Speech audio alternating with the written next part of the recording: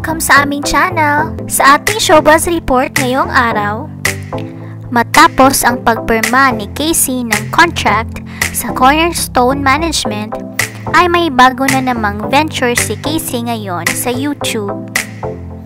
Pinost ni Casey sa kanyang IG ang teaser ng kanyang YouTube channel.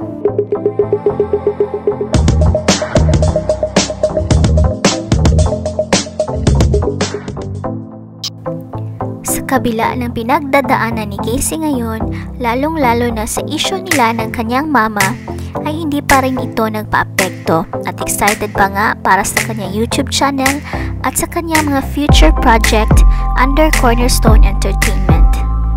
Maraming fans ang na-excite na makitang muli si Casey sa TV, movie, pati na rin sa kanyang YouTube channel Well, hindi naman bago kay Casey ang vlogging kasi matagal na itong vlogger nung panahon pa nung nasa Paris siya at ginawan pa nga ito ng documentary ng ABS-CBN. Ang title nito ay Casey from Paris to Pinas. Sa ngayon ay konti pa lang ang subscribers ni Casey sa kanyang YouTube. Pero siguradong matapos niyang i-launch ang kanyang first video, ay mabilis itong tataas. Dahil alam naman natin na si Casey ay isa sa mga sikat na influencer dito sa Pilipinas. Now it's time for my thoughts and opinions.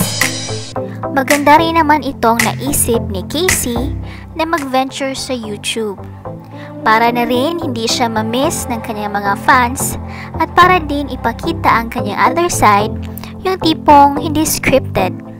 Marami din kasing nagre-request kay Casey na gumawa ng YouTube channel kasi madami din ang nag-aabang sa mga daily updates ni Casey na pinopost niya sa IG. Siguro halos lahat na din ng mga artista o singer ay nagva-vlog na din. Sikat man o hindi masyadong sikat, ay may YouTube channel na rin tulad nila Catherine Bernardo, Alex Gonzaga, Regine Velasquez, Pokwang at iba pang mga artista. Sa bagay, mas maganda din ito dahil na ipapakita nila ang kanilang other side at ang kanilang gustong gawin na hindi nila pwedeng ipakita sa TV. At dahil din sa YouTube, mas makikilala sila ng kanilang mga fans. Dahil gustong gusto ng mga fans na makita ang daily life ng kanilang mga idols. Kaya wala namang problema kung mga artista ay magiging vlogger na rin So Casey, good luck sa iyong YouTube channel.